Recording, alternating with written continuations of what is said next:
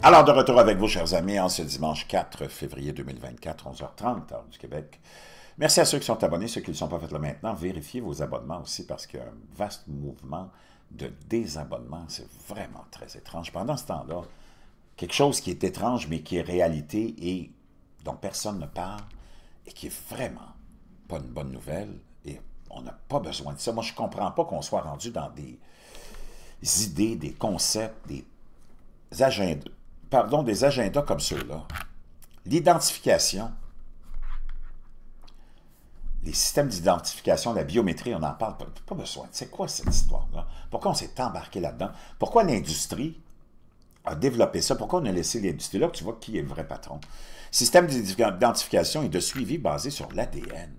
L'Internet des corps et l'Internet des objets ne sont pas de la science-fiction, c'est une chose réelle.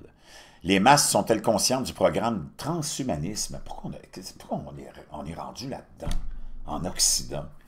Bien entendu, son élaboration et sa mise en œuvre prendront des décennies. Pourquoi on laisse faire ça? C'est complètement... Ça n'a pas de sens. Ça n'a pas de sens. Mais le projet est en marche. C'est un scénario qui n'a pas fait son apparition dans le grand public ni obtenu la couverture médiatique qu'il mérite. Pas vraiment. Mais ne vous y trompez pas ces injections ont été utilisées pour voir ce qui se passe lorsque vous injectez certaines choses comme des nanolipides. C'est un exercice direct ou qui est fait en direct. Il collecte des données au fur et à mesure.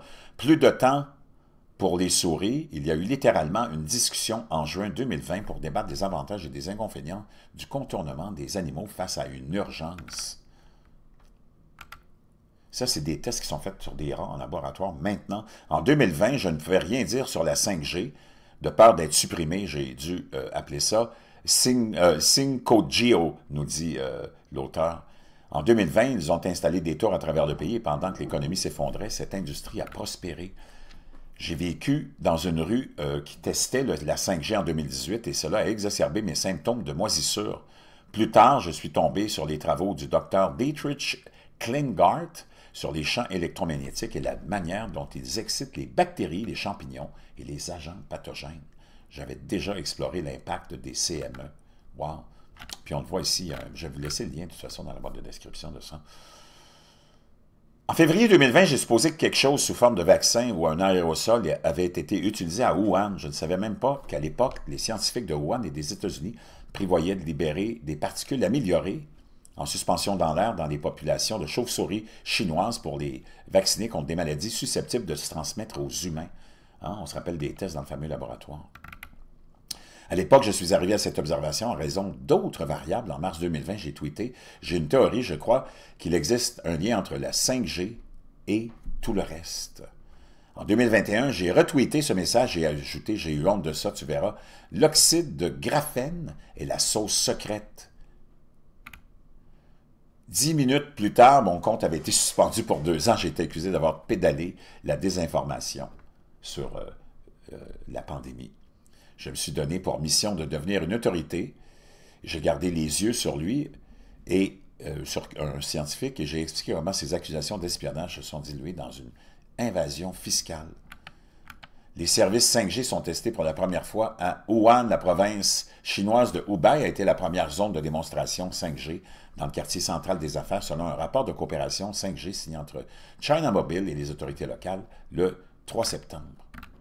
Puis pourquoi on, aurait pu rester avec la première génération, ça aurait été bien correct.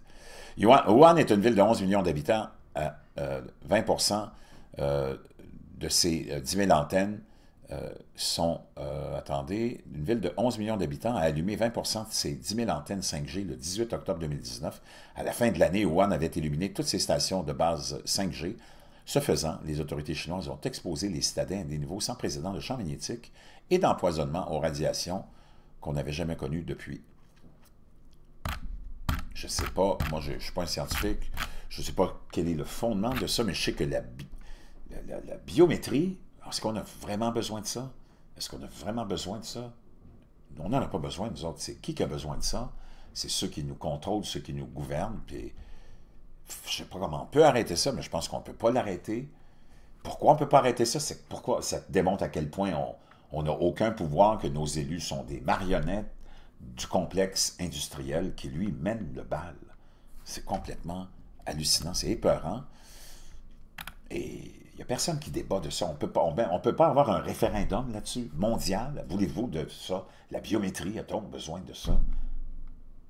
Est-ce qu'on veut avoir un référendum? Est-ce qu'on veut vraiment aller en guerre contre le Hamas, contre Israël ou contre... Je ne sais pas. Ça fonctionne vraiment bizarrement. C'est là que tu te rends compte que nous autres, on mène rien. La démocratie, c'est un écran de fumée. D'abord, la démocratie ne peut pas exister si tu n'as pas de liberté de parole. C'est comme un souper sans repas. Il n'y a pas de souper s'il n'y a pas de repas. On est là-dedans. Il n'y a pas de démocratie s'il n'y a pas de liberté de parole. Puis on se rend compte qu'on n'a rien. Les politiciens sont des marionnettes du complexe industriel, militaro-industriel et pharmaceutique. Puis que les médias qui appartiennent à ce complexe industriel sont l'espèce de de, proxy, de, petite putain à deux piastres qui vient juste te, distraire. C'est complètement hallucinant. Quel monde bizarre, quel monde de fou, comme dirait ma mère.